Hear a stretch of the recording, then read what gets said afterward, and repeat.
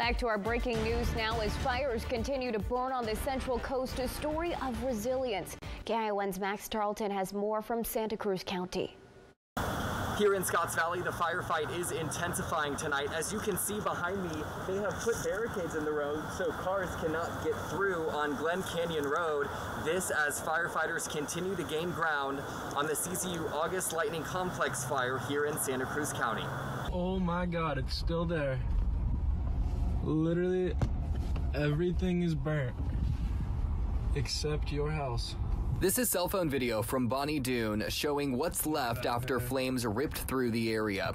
Multiple houses are no longer where they stood, but a miracle in the mountains as a house built by a local remains unscathed. When you come around the corner and see that that house is not even just not burnt, it's untouched. The house, the fire came right up to the house and, and stopped. And um, as I said in my video, my husband built it but passed away last year, and it, there's really just no other explanation. There's no reason that the house should be standing there there anymore. Fortunately, the owners of the house were not home, either was the family who's renting the property.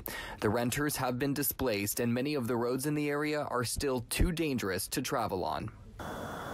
And as these fires continue to grow tonight, it is important to stay aware of road closures and any evacuation orders. Reporting in Scotts Valley, Max Tarleton, KION News Channel 546.